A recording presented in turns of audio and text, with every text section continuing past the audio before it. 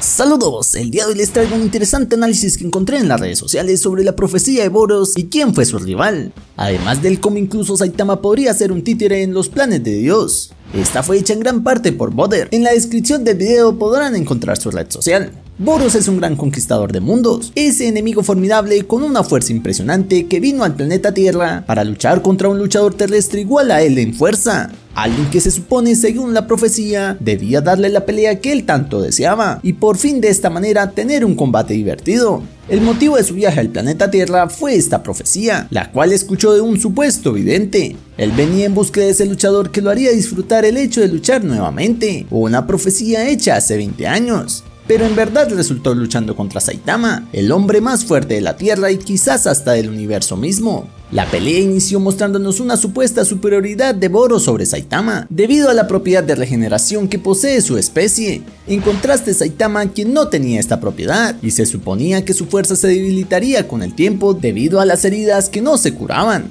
El ganador estaba claro para Boros, o eso era lo que él creía. A pesar de usar su transformación más poderosa y lanzar a Saitama a la luna, este calvo volvió como si nada, lo que hizo que Boros se diera cuenta que en verdad él no sería el ganador de este duelo, este sería Saitama. Entonces usó su última arma secreta, la cual se suponía que destruiría gran parte del planeta, pero Saitama la apartó fácilmente, dejando así sin energía a este conquistador de mundos, por lo cual ya no podía regenerarse. Pero antes de su muerte pudo entablar una corta pero interesante conversación con Saitama, donde pudo admitir que no era su rival ni igual a él en fuerza, sino más bien él era nada delante de Saitama, ni siquiera tuvo una mínima oportunidad, así que dijo que en las profecías no se podía confiar. Admitió que Saitama simplemente era muy fuerte, siendo estas las últimas palabras de Boros. Entonces, ¿cómo es posible eso que una profecía no se pudo cumplir? De hecho, se suponía que Boros se encontraría con su oponente, quien se suponía que era igual o cercano a él en fuerza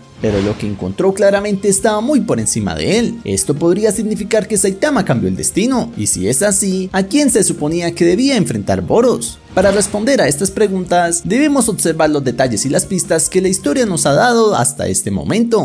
Si volvemos a mirar la historia de Boros, veremos que en la profecía habla de una persona del nivel de Boros en cuanto a fuerza, que estuvo en la Tierra hace 20 años, lo que significa que la profecía habla de alguien que ya estaba al nivel de Boros pero hace 20 años en el pasado. Y es aquí donde se encuentra una extraña coincidencia, ya que hace 20 años fue el mismo tiempo que Blas comenzó a pelear con Dios, o debería decir, la primera vez que los humanos decidieron enfrentar a esta existencia conocida como Dios. Coincidencia muy posible no lo sea. El hecho que estos hechos sucedieran al mismo tiempo significan muchas cosas. Saikos luego de obtener un tremendo poder de Dios, le cuenta a Tatsumaki cómo tuvo su poder y cómo está a punto de convertirse en un planeta y cómo todo lo que está sucediendo ahora fue planeado desde el principio. Entonces podemos ver una relación. Si lo analizamos un poco, podemos concluir que el hecho que Blas y sus compañeros supieran de la existencia de Dios muy probablemente tampoco sería una casualidad.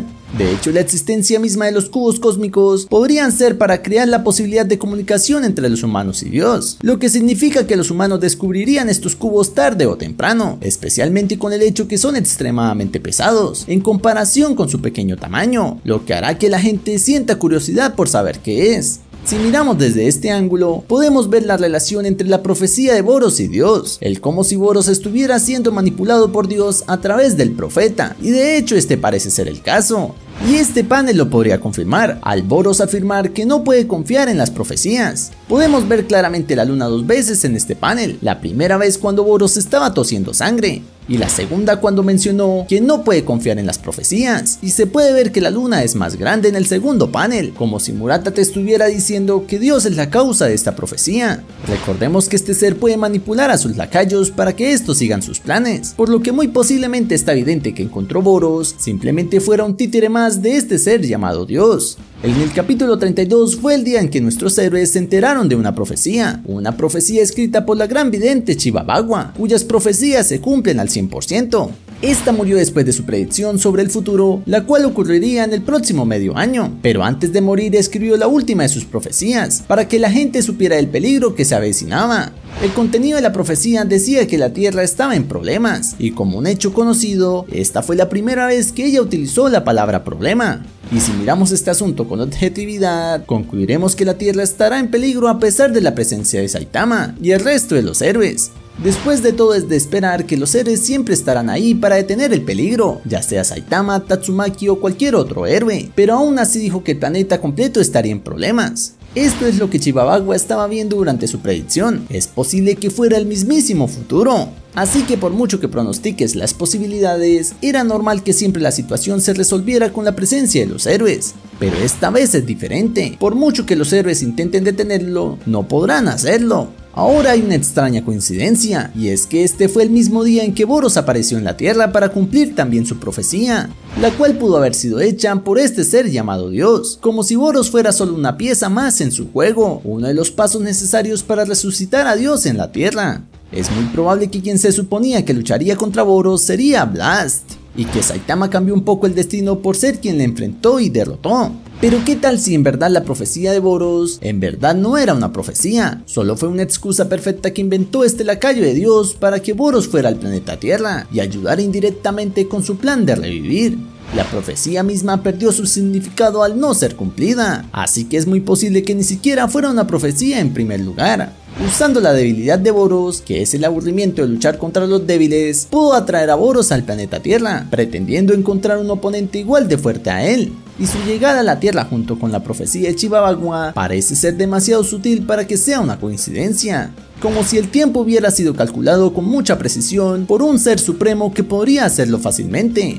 Pero ¿por qué atraer a Boros a la Tierra? ¿Cómo este ser podría ayudar con los planes de Dios si pareciera tener el suficiente orgullo para no arrodillarse ante nadie? Pues si recordamos lo que dijo el Dr. Bofoy en el capítulo 85, hay otros males afuera observando al mundo. Cuando la humanidad se encuentra en el punto más débil, golpeará y se llevará todo. Cuando la humanidad se encuentra en su punto más débil, esa es la clave.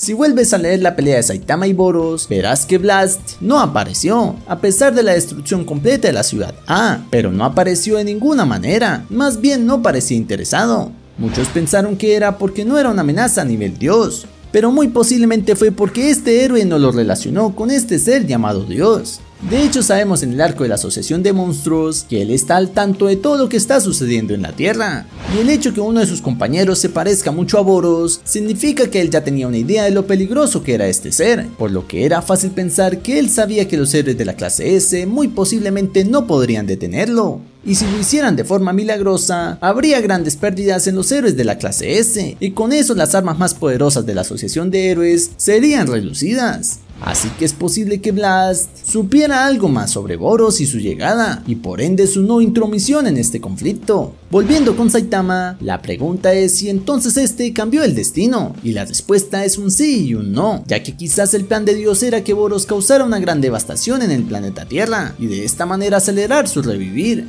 Pero al entrometerse Saitama, solo hizo que sus planes se retrasaran, pero al parecer aún siguen su curso.